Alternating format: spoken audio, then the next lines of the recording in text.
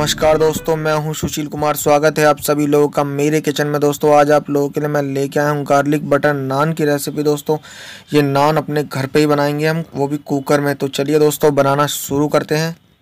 तो दोस्तों, ये हमने मैदा ले लिया है टू ग्राम, ढाई ग्राम मैदा, और ये आधी छोटी चम्मच से भी कम सोडा डालेंगे इसमें, और बेकिंग पाउडर आधा चम्मच करीब। और दोस्तों, इसको मिक्स कर लेंगे। और दोस्तों, पानी डाल के हम आटे को गूंद लेंगे।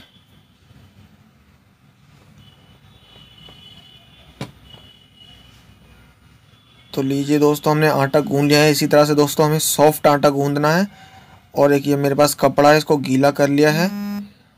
और इसको इसी तरह से ढक के हम पंद्रह मिनट के लिए रख देंगे। तो दोस्तों, गार्लिक बटर नान बनाने के लिए मैंने एक ये बड़ा कुकर लिया है। और इसको हम फ्री हीट कर लेंगे दोस्तों। हाई फ्लेम पे, ढक के। और चलिए दोस्तों, दूसरी साइड हम अपनी नान तैयार कर लेते हैं। यह आटा हमारा दोस्तों। ये देखिए कितना अच्छे से मुलायम सॉफ्ट हो गया है। और इसमें हम हल्का सा मैदा डाल के इसी तरह से हम और सॉफ्ट कर लेंगे। अब दोस्तों, इसमें से लोई तोड़ के रोटी की तरह इसको बेल लेंगे।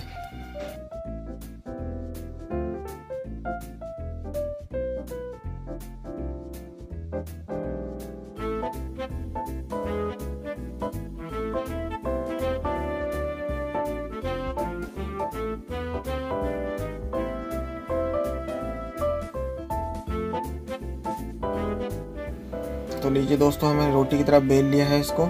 इसमें हल्का सा ऑयल डालेंगे हम और इसको फैला लेंगे।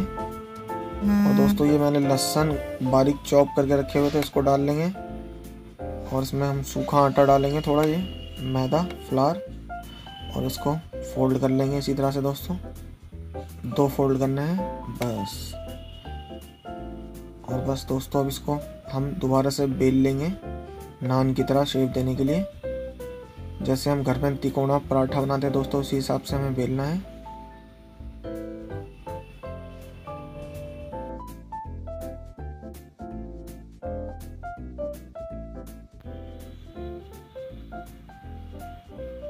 तो बस दोस्तों, मैंने इसमें गार्लिक और धनिया पत्ता लगा के इसको बस तीनों साइड से दोस्तों, इसी तरह से हम खींच लेंगे। और इसमें हम पानी लगा देंगे दोस्तों, हल्का सा। और सीधा इसमें कुकर में डाल देंगे, लगा देंगे।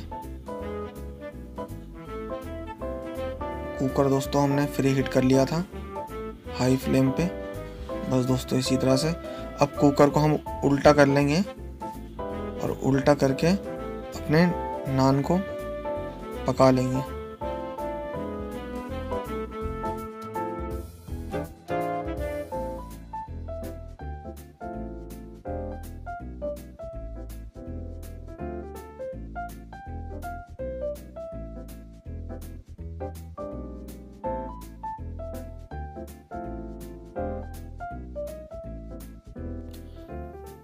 तो दोस्तों लीजिए हमारा नान पक चुका है अब इसको चक्कू की मदद से बाहर निकाल लेंगे। देखिए दोस्तों मार्केट की तरह लग रहा है बिल्कुल दोनों साइड से अच्छे से पक भी चुका है। अब इसमें हम बटर लगा लेंगे दोस्तों और इसको गर्मा गर्म सर्व करेंगे। आप इसी तरह से भी खा सकते हैं और नहीं तो इसको काट भी सकते हैं तीनों साइड से। और दोस्तों ये गार्लिक बटर नान की रेसिपी आपको अच्छी लगी तो प्लीज़ मेरे चैनल को लाइक करें शेयर करें सब्सक्राइब करें।